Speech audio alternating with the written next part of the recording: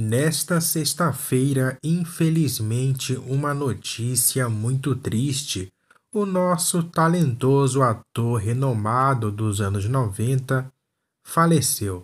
Veja esse vídeo para você entender todo o conteúdo. Mas antes eu peço que deixe o like, se inscreva no canal e vamos agora para a primeira notícia. O ator Carlos Casagrande brilhou em diversas novelas, mas está há algum tempo afastado e seu último trabalho foi em I Love Paraisópolis, onde viveu Tiago em 2015. Desde então, o muso, de 54 anos, foca em outra área morando em Miami, com a mulher Marcele e os dois filhos, Theo, de 16, e Luca, de 13. Há seis anos, Casagrande se tornou um homem de negócios.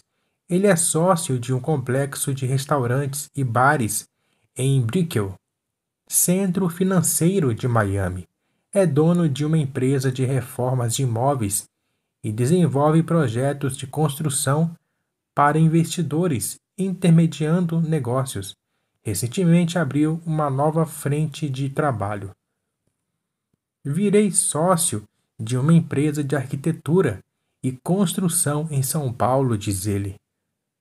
Com a mesma beleza do começo da carreira, quando era modelo, e estreou como o João em Malhação de 98, o mercado publicitário ainda mantém o olho atento no bonitão de um metro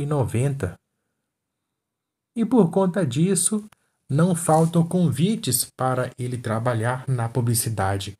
O segredo de se manter com o mesmo aspecto irretocável do passado é a rotina de cuidados que ele mantém, principalmente em relação à alimentação.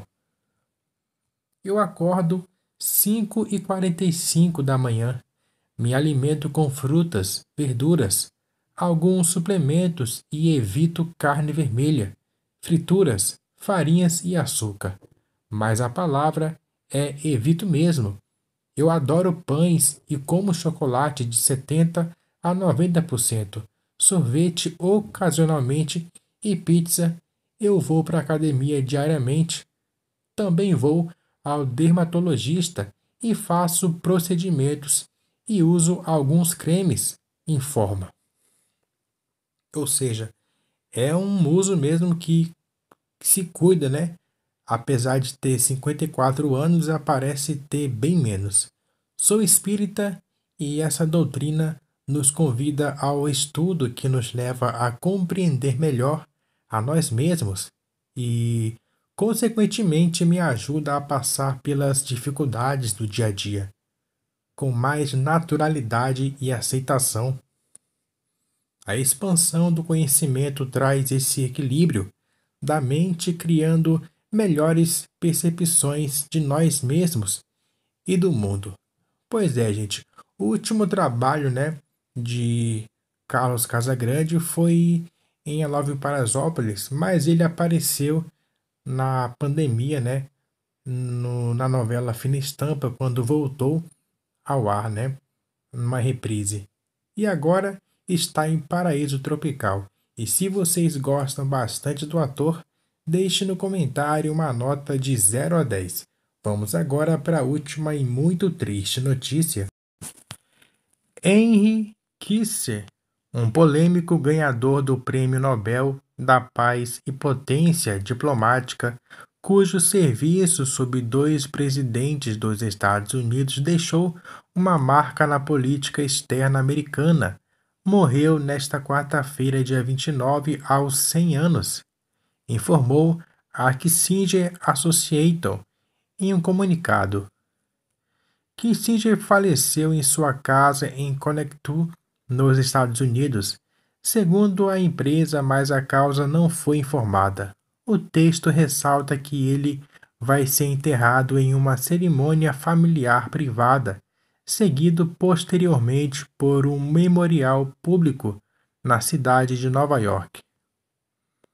o ganhador do Nobel esteve ativo mesmo após completar 100 anos participando de reuniões na Casa Branca, publicando um livro sobre estilos de liderança e testemunhando perante uma comissão do Senado sobre a ameaça nuclear, representada pela Coreia do Norte.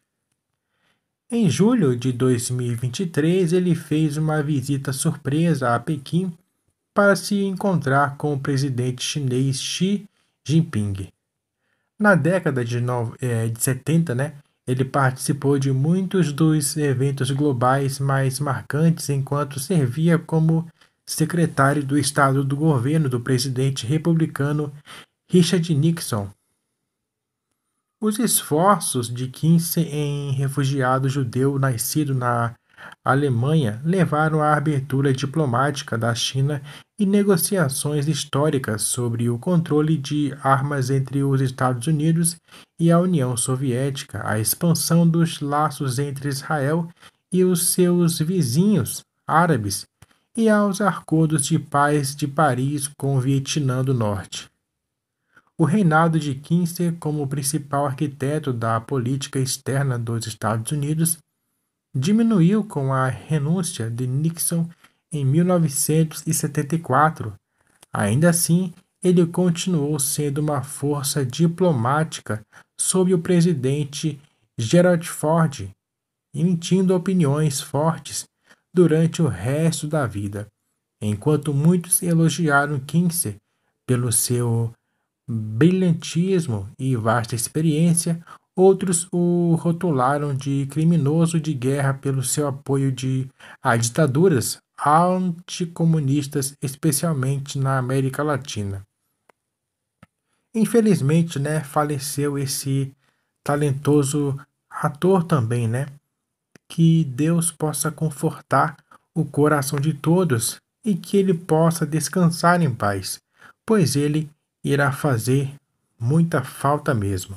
E se vocês chegaram até aqui, no final do vídeo, mais uma vez, humildemente eu peço, por favor, que deixe o like, se inscreve no canal, ative o sininho de notificações todos para vocês não perder nenhum vídeo que a gente for postar aqui. Vocês fazendo isso, o YouTube entende que estão gostando bastante do nosso conteúdo. E se é assim que Deus nos permitir, voltaremos com o um próximo vídeo. Fiquem todos com Deus, um final de semana abençoado a todos e até o próximo vídeo. Tchau, tchau.